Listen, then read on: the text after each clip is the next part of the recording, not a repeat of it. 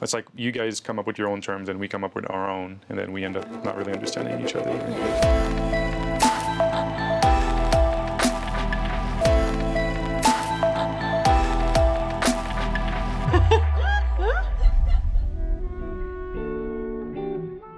Bonjour!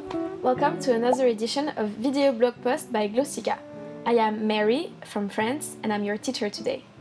And I'm Benoit, her co-host for the day. I'm from Quebec, Canada.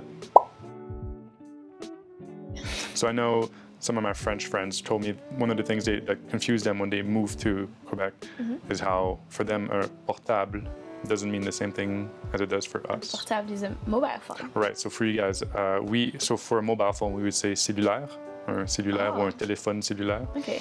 And then for me, a portable is like a laptop computer, un ordinateur portable. Yeah, we would say ordinateur portable. Right, right, right. So yeah, there's that one. Um, I know you guys also like to use email.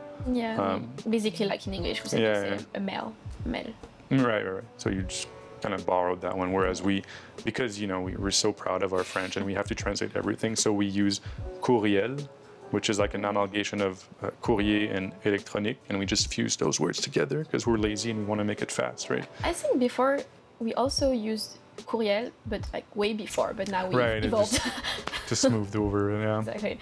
Mm-hmm. So I heard in Canadian French to say a girlfriend, instead of saying petite amie, petite copine, you would say blonde, which Yeah. literally means blonde. Literally, yes. So even if your girlfriend's hair is black, you still call her your blonde.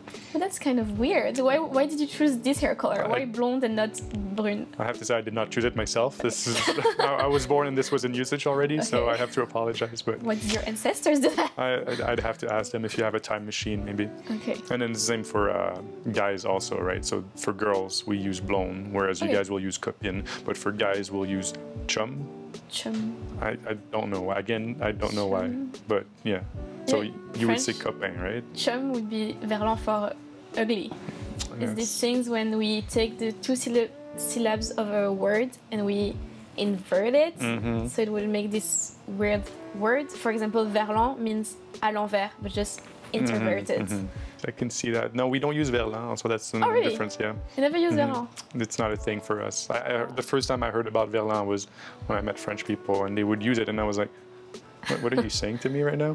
Well, moche would make chum. That's Right, right, right. Yeah, I, I can see it now. So yeah, you guys would use copain, and then for us, because verlan is not a thing for us, and I still don't know why it's a thing for you guys, but yeah, no, So we the, the verlan of copine would be pinko.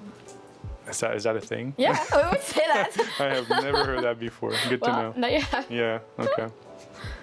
So I know also a big difference is the swearing. So we don't use the same. I don't know why we use religious words instead. Okay. Like calice, tabarnak, ciboire. That sounds so ridiculous. I- it is. It really is. Especially when someone is super angry and they start saying those words and they use like a string of them.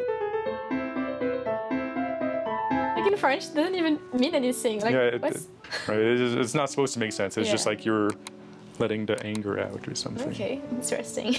See you later. Bye bye.